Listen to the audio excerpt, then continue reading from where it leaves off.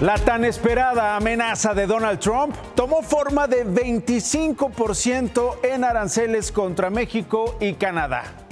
Hoy mismo, esta mañana, la presidenta de México, Claudia Sheinbaum, le respondió y lo hizo así.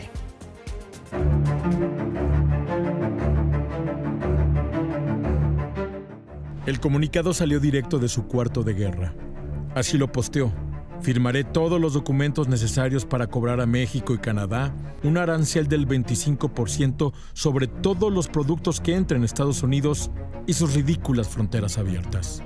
Es hora de que paguen un precio muy alto. Estimado presidente electo Donald Trump, me dirijo a usted a raíz de su declaración del lunes 25 de noviembre sobre migración, tráfico de fentanilo y aranceles.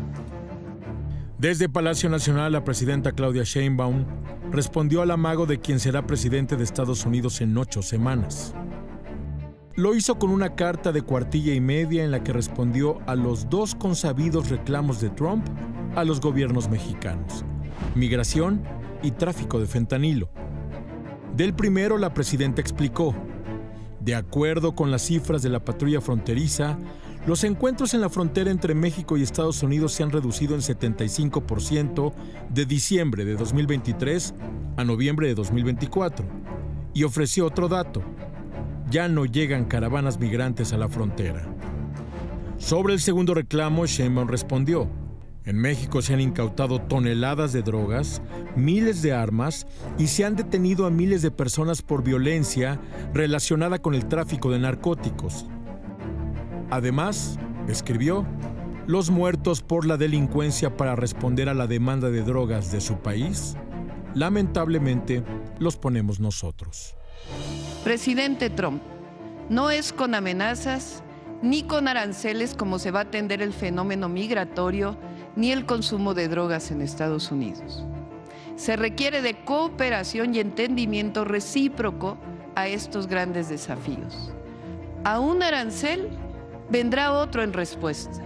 Y así hasta que pongamos en riesgo empresas comunes. Al norte de las amenazas en Canadá, el primer ministro Justin Trudeau tomó de inmediato el teléfono y habló con Trump.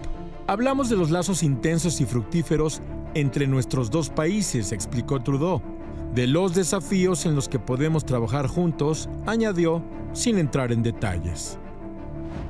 En México, la advertencia de Trump generó reacciones en el gabinete de Sheinbaum, así como en las dos cámaras legislativas, todos a favor de la respuesta de la presidenta.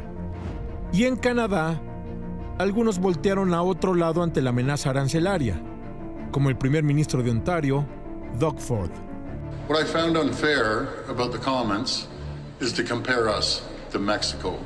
And I can tell you, Canada is no Mexico. Y muchos decían que comparar a México con Canadá o Canadá con México es un insulto para los canadienses. Esta mañana, la doctora Claudia Sheinbaum fue contundente. A un arancel vendrá otro arancel y así hasta afectar empresas comunes en ambos lados de la frontera. Los aranceles de Trump los pagarían los estadounidenses. Esos son los primeros afectados y Donald Trump lo sabe. Pero ¿Qué tan seria es la amenaza? ¿Qué impacto tendría para México, para usted?